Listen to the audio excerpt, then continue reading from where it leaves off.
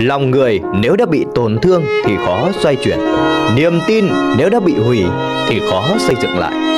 Chân tình một khi đã mất thì khó có thể tìm về. Làm người, giàu nghèo không quan trọng.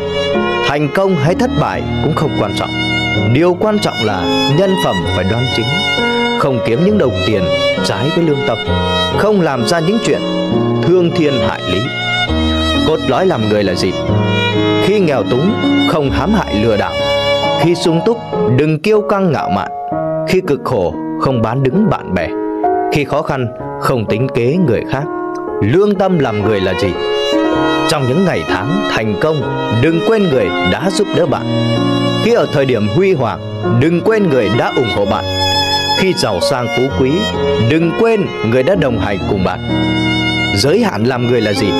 Không được quên người đã giúp đỡ bạn, Không được vứt bỏ người, bước đi cùng bạn, Không được tổn thương những người yêu bạn. Có nghèo đến đâu cũng phải giữ được tôn nghiêm, Có giàu đến đâu